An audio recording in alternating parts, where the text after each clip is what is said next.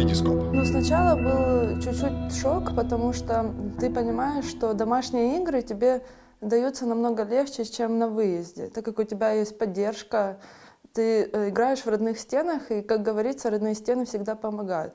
Но мы поняли, что ничего не поменяется, нужно собраться, играть на выезде так, как дома, еще больше стараться, потому что э, будет намного сложнее, сложнее э, в том плане, то, что судьи нам совершенно не помогали ни в, ни в одной из игр.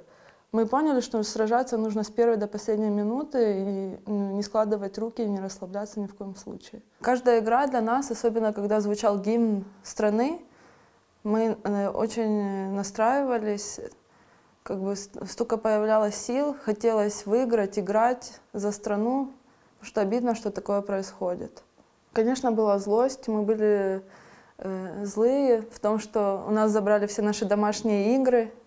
Это настроило нас э, очень позитивно, нормально. Мы были злые, хотели выиграть и показать, что мы нормальные, в Украина, Украина нормальная, нечего бояться.